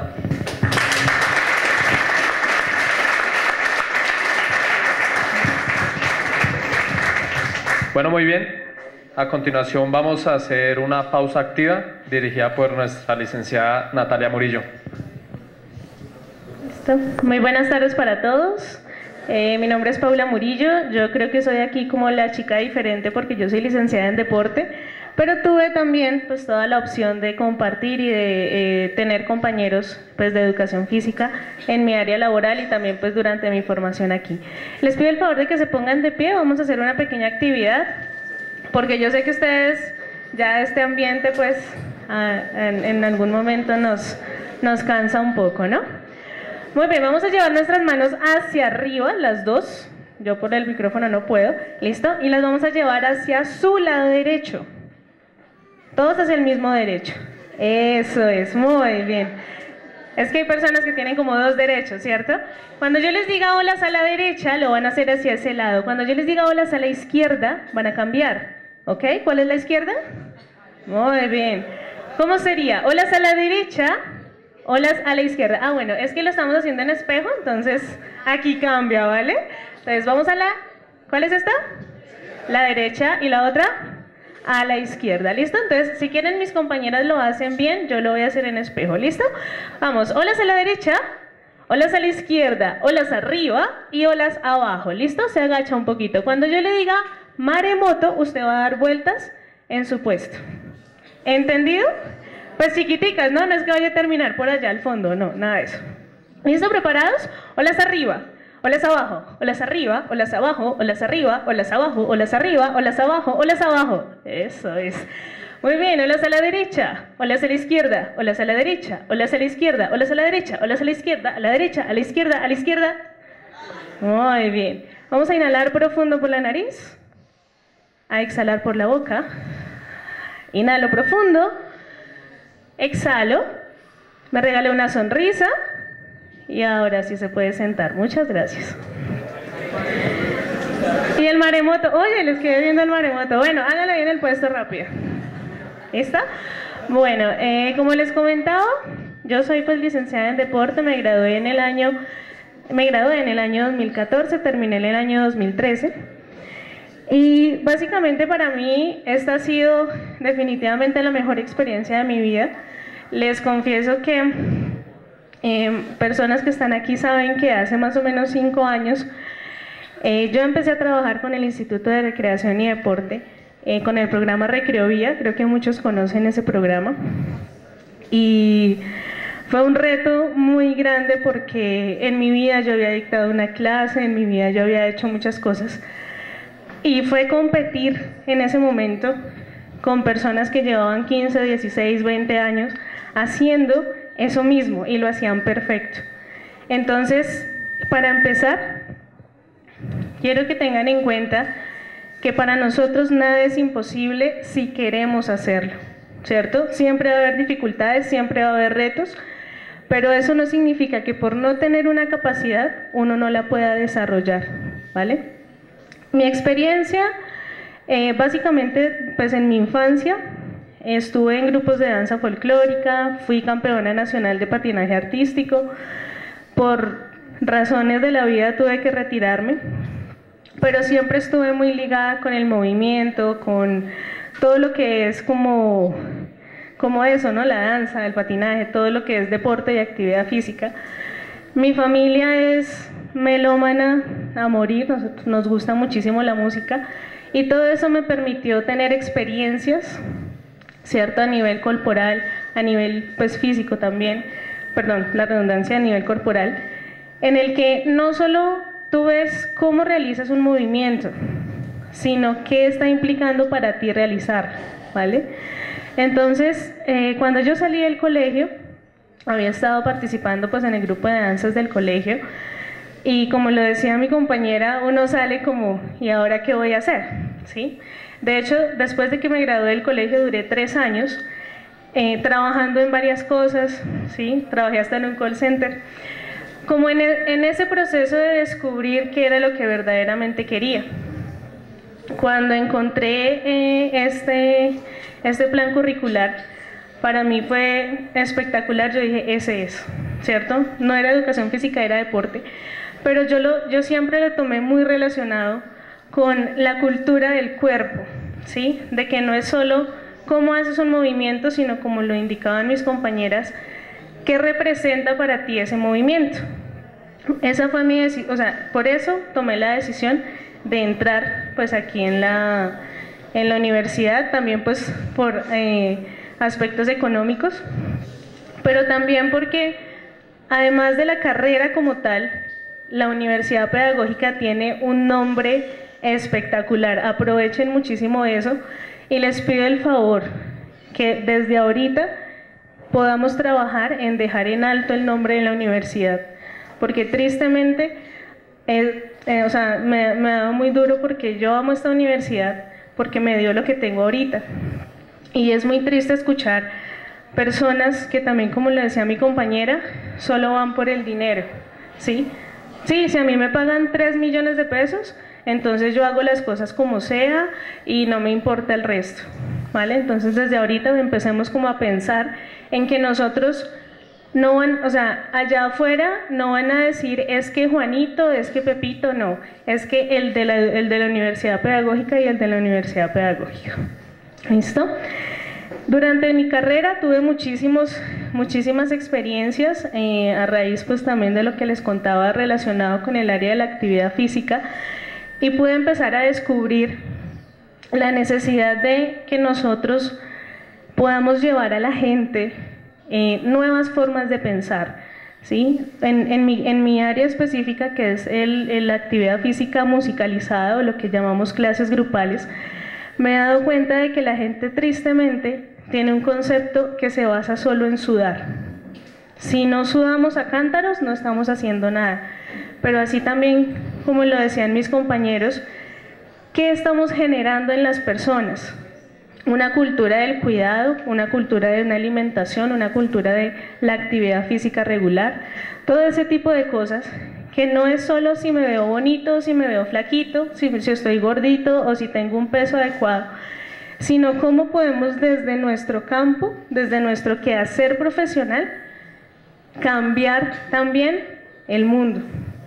¿Sí? Nosotros gracias a Dios, yo siempre lo he dicho, tenemos la fortuna de poder cambiar al mundo, de generarle a las personas la conciencia de que lo físico no es lo más importante, lo exterior, sino lo que pasa adentro, de cómo podemos crearles una cultura para que ellos puedan, pues obviamente en el futuro, también pues evitar enfermedades y tener pues una vida mucho más saludable. En el área, em, bueno, también pues mi intención al entrar en la carrera era poder llevar un poco más a lo científico y a lo evidente, ¿cierto? Esa cultura del movimiento, ¿sí? De que no es lo mismo que tú le hables a una persona en términos coloquiales, como dicen por ahí, a que tú le expliques con argumentos válidos el por qué ese movimiento o esa experiencia corporal le va a traer un beneficio. En este momento yo soy la coordinadora de un programa de artística en la Universidad Cervantina y estoy dictando la electiva de danza. Y ha sido una de las experiencias más lindas que he tenido. ¿Por qué? Porque llegan compañeros o pues estudiantes que me dicen, profe, mi nivel de movimiento es cero. Y tú los ves y es cierto, se mueve más un palo que ellos. O sea, no, no hay nada que hacer y uno dice, pero ¿cómo es posible? pero poco a poco uno se da cuenta de que sí es posible y de que eso muchas veces no va en el estudiante, va en nosotros, como docentes, como personas que podemos llegar a ellos de forma que podamos, como lo decía mi compañera, no que se enamoren del profesor, sino que se enamoren de esto tan lindo que es explorar su cuerpo, explorar las posibilidades de movimiento, ¿vale? Entonces lo ideal es que no se enamoren del profesor, sino del movimiento, ¿vale? Entonces, mi experiencia durante este tiempo ha sido eso. Trabajé también el año pasado en Guainía, no sé si ustedes vieron la película del abrazo de la serpiente, espero que la hayan visto.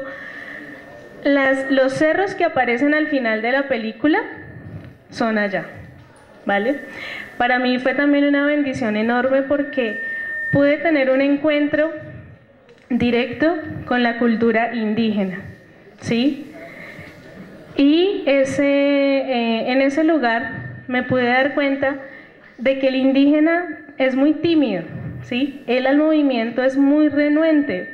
Tú, de verdad que hay personas que, que hay que, mm, como dicen, que hay que sacarles las palabras, a ellos toca sacarles el movimiento, porque ellos no es que no puedan, simplemente pues hay cuestiones culturales que no los dejan, ¿sí? O que ellos se sienten un poco em, temerosos de hacerlo.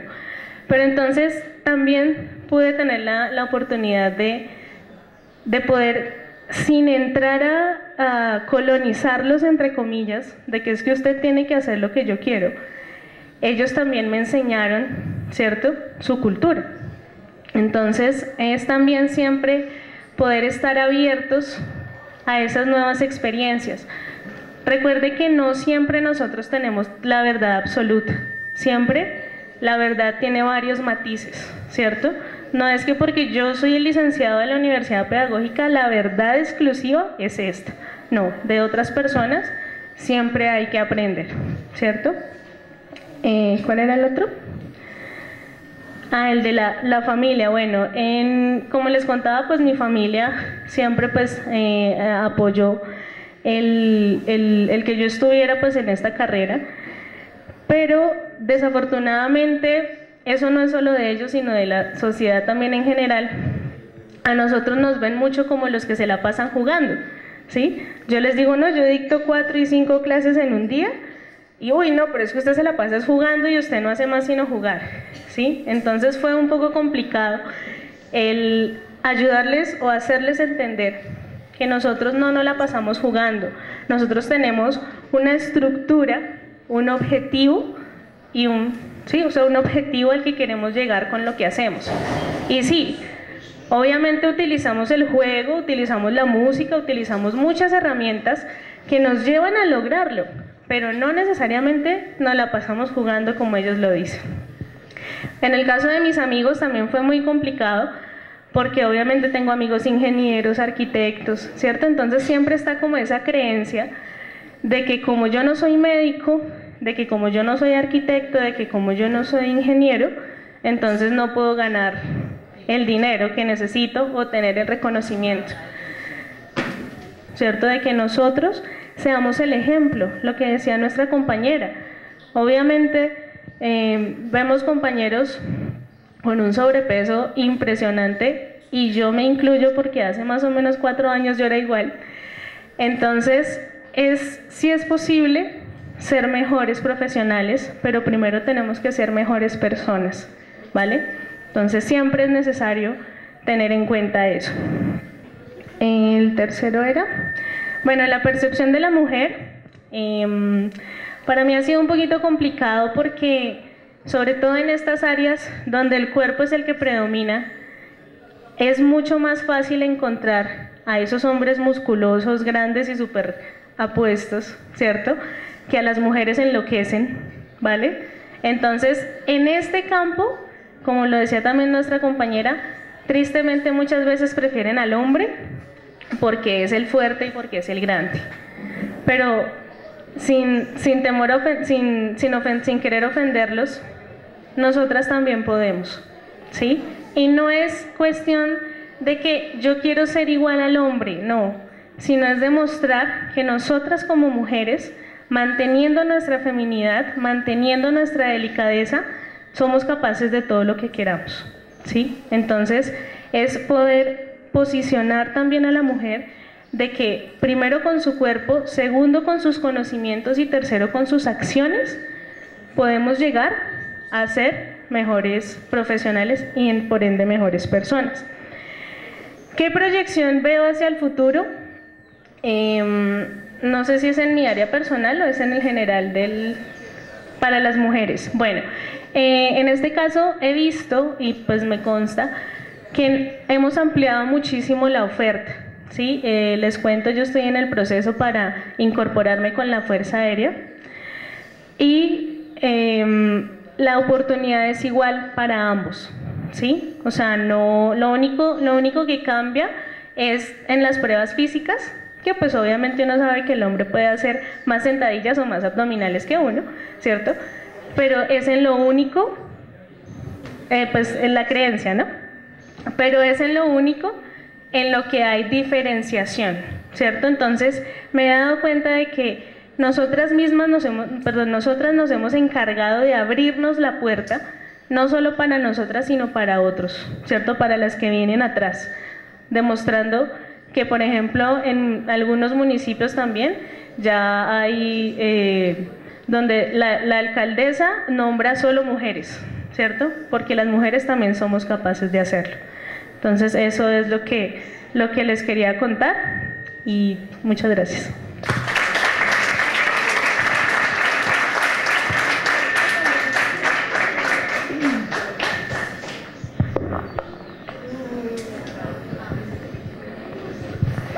Muy buenas tardes para todos.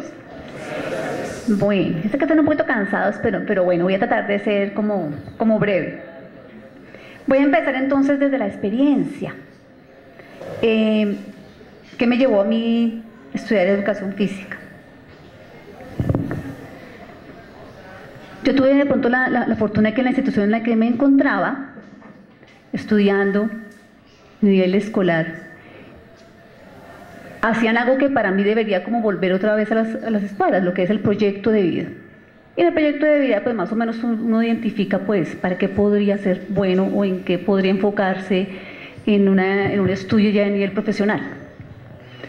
Y curiosamente me había enfocado en tres. De manera entonces que me escribí la, a la distrital para, para inglés, a la nacional para diseño gráfico y a la pedagógica para educación física. Y en las tres pasé. La nacional sí me quedé fue en el examen específico, pero también pasé y de ahí entonces tomé la decisión. Pero me costó más trabajo las pruebas de entrada de la pedagógica. No sé si sería en ese sentido un poco privilegiado porque eran las mismas pruebas para todo el mundo. No era diferenciado para mujeres ni diferenciado para hombres. Estoy hablando de las décadas de los 90. Y entonces las pruebas se realizaban en el Parque Nacional, cerca al coliseo que tiene la, pedagógica, creo que aún, en el Parque Nacional. Y era una prueba de resistencia física. Ese día estaba lloviendo, recuerdo tanto. Además, eran unas pruebas de agilidad, de agilidad motriz, de equilibrio, de fuerza y una prueba de ritmo. Y en las pruebas estaban, de hecho, algunos profesores que a futuro iban a ser mis maestros en la, en la pedagógica. Y bueno, entonces como me costó más trabajo. Y definitivamente creo que eso es vocación, porque en secundaria pues ya había tenido algunos pinitos en la parte deportiva y, y eso era lo que me encantaba. Y tenía claro que más allá del alto rendimiento quería era ser docente. Entonces ingreso a la, universidad pedagógica. Ya en ese entonces la mayoría ya eran hombres. Creo que aún se mantiene un poco ese, ese mismo porcentaje. Éramos como 10 mujeres y, y 20, 25 hombres. Entonces ingresamos.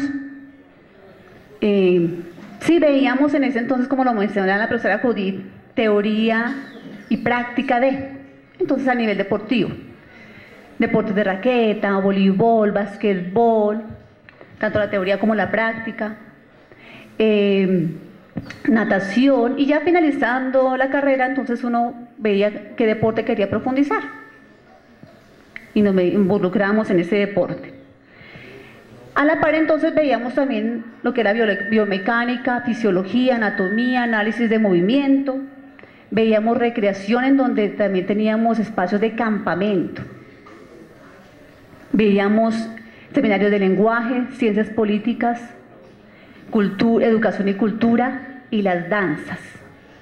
Recuerdo al profesor Héctor Murillo, aún está en la Universidad Libre, deliciosa las clases con el profesor Héctor. Eh, Claudia Mayarino, que está ahora en Cali. Jimena también, en la parte de danzas. Y pues también lo rico era vivenciar la universidad además de estar estudiando uno también vivenciar la universidad. Entonces también estaba en el grupo de gimnasia de la, universidad. Y con Héctor Peralta, ya en una de sus asignaturas, pues hacíamos, hacíamos presencia en las gimnasiadas que se hacían en ese entonces, que era un encuentro intercultural, no solamente aquí a nivel nacional, sino internacional. Entonces uno veía que venía gente de Chile, de Argentina, eran unos espacios muy ricos culturalmente. Aprendía uno de ellos y, pues, y obviamente ellos también aprendían de, de lo nuestro. Eh, eso en cuanto a lo, que, a lo que veíamos en la, en la universidad. En cada espacio académico también teníamos que hacer nuestros, nuestros escritos, entonces hacíamos las cartillas de cada uno de los deportes, que era como un apoyo que también teníamos y que definitivamente nos sirvieron después para, nuestro ejercicio educativo. Ese fue una buena herramienta en ese entonces. Eh, también eh, hacíamos trabajo, algo de las selectivas, entonces uno también miraba la parte de las selectivas en la universidad, de otras dependencias educativas. y en varios espacios académicos teníamos también salidas. Entonces, tuvimos salida en Educación y Cultura con San Agustín, íbamos también a los simposios, foros, congresos que se, realizaban en ese entonces en el país, entonces con la universidad salíamos e íbamos a Santa Marta, a un foro que hubo en Santa Marta. Eh, aquí en Bogotá se realizó también uno internacional y había varios eventos en donde la universidad pedagógica era líder. La universidad entonces lideraba los eventos aquí en Bogotá y a nivel nacional, los congresos internacionales, de los cuales participábamos. Y las salidas pedagógicas, pues, de hecho también teníamos algunas actividades pues, fuera de la, ciudad eh, de sentido pedagógico. Y era ir, estar allá, hacer, tener una vivencia sobre las prácticas corporales que se encontraban en esos espacios a donde nos íbamos a hacer nuestras salidas pedagógicas fuera de la ciudad. Eso en cuanto a la, vivencia de la universidad. Entonces yo digo, vivir la universidad. La universidad en ese entonces tenía una, un amplio abanico de posibilidades en las que uno podía estar inmerso y el hecho era disfrutar de la universidad. Entonces definitivamente algo que me llevó a estudiar educación física fue el apasionamiento. Uno tiene que ser apasionado en lo que, en lo que, estamos, en lo que, en lo que hace. De allí entonces ya empecé pues ya la parte laboral. Precisamente haciendo mi, mi trabajo de, de, pregrado, me vinculé con la, con la Liga de Gimnasia Bogotá en algo que eran las orientaciones programáticas para niños, eh, orientaciones programáticas de educación física para niños de 3 y 4 años en la Liga de Gimnasia Bogotá. Entonces empezamos a trabajar con niños desde inclusive, llegaban niños antes de dos años, niños de un añito en adelante. Trabajamos allí. Y de ahí entonces me vinculé al Club Cafán, Club Campestre Cafán. Igualmente, el mayor número de personas que, docentes que se encontraban allí eran eh, hombres. Las mujeres éramos un grupo más o menos un poco limitado, ya después pues las cosas fue cambiando. Y allí entonces éramos los instructores de diferentes disciplinas deportivas.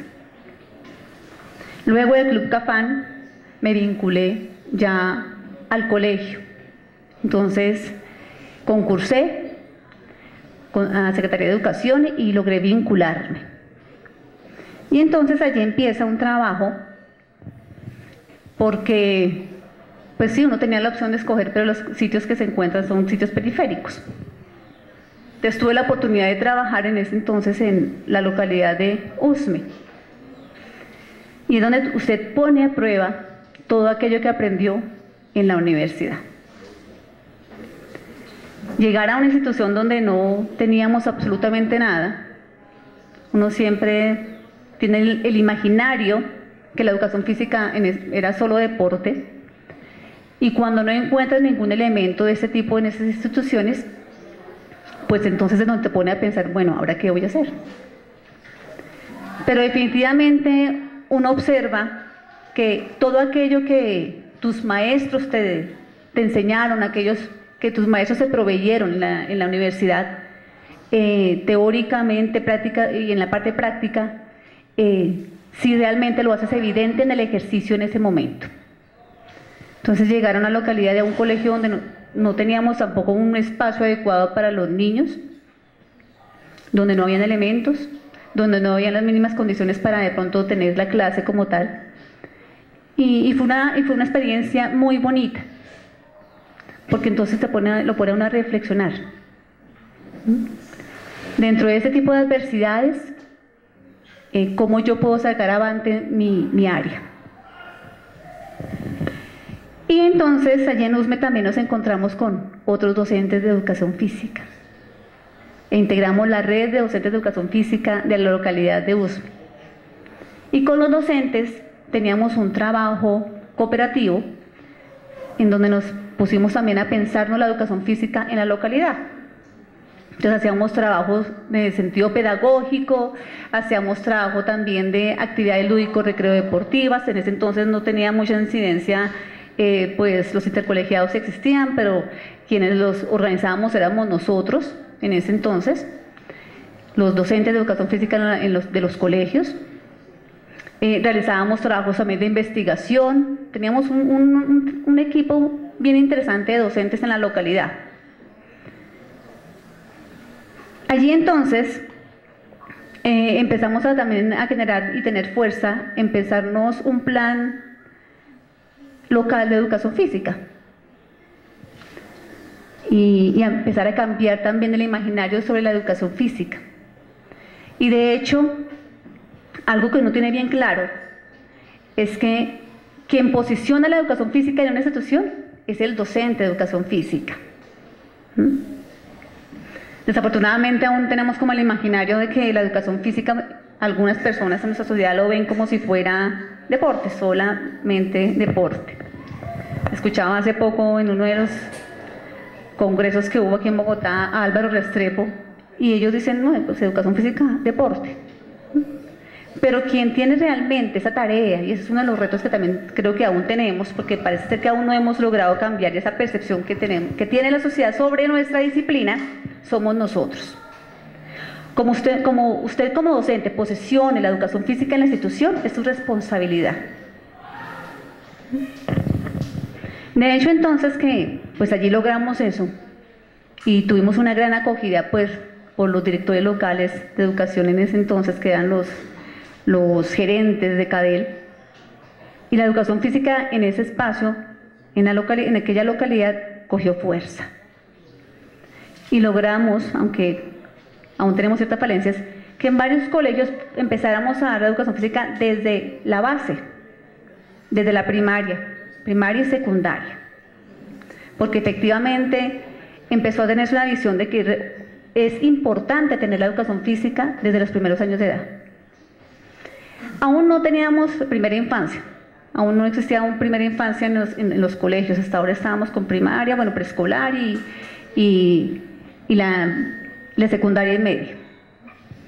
Y bueno, entonces allí realizamos como ese tipo de trabajo con los compañeros. Eh, de ahí me trasladé a otro colegio en la misma localidad. Eh, luego eh, pasé hacia otra, institución, ya algo más central. Y de ahí entonces en este momento estoy trabajando en una comisión en la Secretaría de Educación. Y desde allí hemos logrado también pensar, el eh, cambiar el imaginario que se tiene sobre la educación física. De hecho, entonces, si notamos, ya en primera infancia hemos logrado que se empiecen a enviar docentes de educación física para la primera infancia. He ahí otro reto. ¿A qué me refiero con otro reto que también tenemos en cuanto a la educación física y también como docentes en educación física? Es que prepararnos también para trabajar con la primera infancia. Algo que hemos observado en la Secretaría de Educación es que eh, para este tipo de población muy pocas personas a veces se arriesgan. Y ahí viene otra, otra, otra, otra nota inclusive frente a lo que vemos el papel de la mujer y el, y el hombre. Porque en la mayoría de instituciones educativas y en la mayoría de espacios la mujer está dada para trabajar con los niños pequeños. Los hombres con los, muchachos de secundaria. Muy pocas veces vemos hombres trabajando con los niños de primera infancia o preescolar o primaria. Más que todo son las, son las mujeres. Yo he tenido pues ese recorrido de trabajar con niños desde un añito hasta inclusive hasta con gente ya de noventa y pico de años los niños adultos. Entonces, pensarnos eso, que la educación física no solamente debe ser para la población escolar, la, educación física debe ser para todos. Entonces, pensar una educación física para todos. No, es también romper un poco con el esquema de lo, de lo escolarizado. Y si pensamos justamente en la educación física como hecho y práctica social, si hablamos de sociedad, pues hay que romper con los esquemas escolares. La educación física también va de puertas hacia afuera. Otro reto ahí. Entonces tenemos un reto para pensarnos como docentes y fortalecernos en la parte desde primera infancia, pensar la educación física de puertas afuera de lo escolar. Ahí van dos, factores. Bien.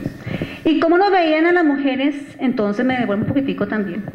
En, ese, en esa época de los, de los 90, como lo mencioné inicialmente, las pruebas eran iguales. Y asimismo, las actividades de clase eran iguales para todos, hombres y mujeres. No tenían cierta consideración por el hecho de ser mujer. Y creo que es algo que le agradezco a los maestros de ese entonces. Jugábamos fútbol igual que los compañeros basquetbol igual que los compañeros. Cualquier otro tipo de, deporte igual que los compañeros. No tenían cierta consideración con nosotros, era todos por igual.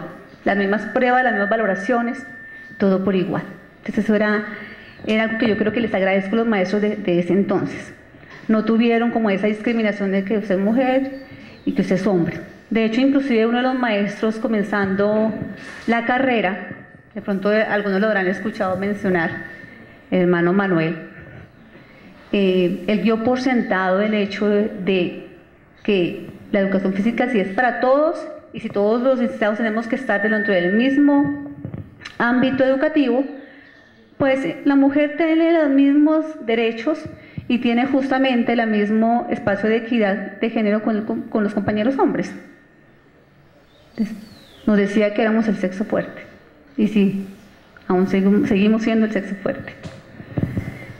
Y de ahí entonces el hecho de que eh, se valorara el trabajo de la mujer, eh, de que realmente se tuviera un respeto por lo que la mujer hacía en ese entonces, no tuvimos ningún inconveniente de, de, que, de discriminación al menos en el momento de la parte educativa en la universidad.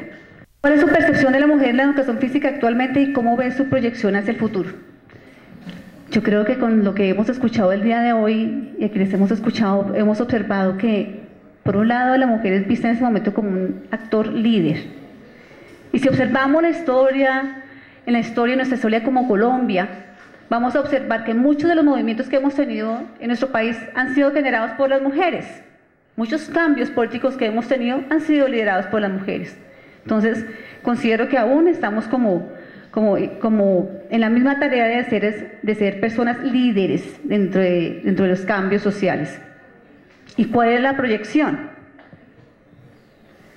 En un sentido, la proyección para mí sería eh, que seamos agentes de cambio, que seamos transformadores de nuestra sociedad. Que tengamos también una proyección hacia la transformación de las prácticas académicas en las instituciones. Hay algo que yo considero que es algo vital en este momento en la educación, y no solamente lo digo por educación física, sino todo en general, es nuevamente ver la reivindicación de la vida. Hay que nuevamente reivindicar la vida en la escuela. Y independientemente del área, es una acción que tenemos que hacer todos como, actores educativos. Volver la vida a la escuela, volver a, a resignificar la vida en la escuela y que nos correspondería a nosotros volver a resignificar la vida a través de la corporalidad. Ese pensaría que sería uno de los trabajos fuertes en, en este momento. Y más aún nuestra profesión, porque con nuestra profesión tenemos unas grandes ventajas. En un sentido, el hecho de que trabajamos justamente con el cuerpo. Y cuando hablamos de cuerpo, y hay que pensarlo como la integralidad. No solamente considero que seamos un área del ser, somos, una, somos ser, hacer y pensar. Entonces, si debato un poco eso de que somos ser o que somos solo hacer, no. Somos ser, hacer y pensar. Y cómo direccionar precisamente estos factores en la escuela. Y cómo tocar desde allí, desde nuestro mismo trabajo, la emocionalidad del ser humano hacer nuevamente que el ser humano vuelva a su esencia, a su esencia de ser. Suena curioso el hecho de estar pensando que tenemos que nuevamente humanizarnos. O bueno, hasta inclusive pensaría a veces deshumanizarnos, porque parece ser que últimamente el ser humano pues ha, empieza, ha carecido de, algunos eh, factores que, nos han vuelto un poco como disociados con lo, que nos, con lo que es nuestro ser y con nuestro ambiente. Entonces, eso pensaría que también sería otro, otro reto, reivindicar la vida en la escuela, a través de la corporalidad. Bien, esas serían como, como, las experiencias eh, que vivimos en la, universidad, serían como la proyección y, y sí, como el mensaje sería que yo espero que ustedes estén en el lugar, en el, que estén en el lugar indicado y ténganlo por seguro. Ténganlo seguro que ustedes no están equivocados en el hecho de haber escogido esa carrera. Pero hay que apasionarnos. Y ser apasionados también indica que tenemos que seguir preparándonos. La preparación no solo acaba en la universidad, es el comienzo. La universidad es un primer paso. Lo demás se lo va dando a usted la experiencia. Entonces, bienvenidos muchachos a esta aventura de la educación física en el ambiente donde quiera que usted se encuentre a futuro.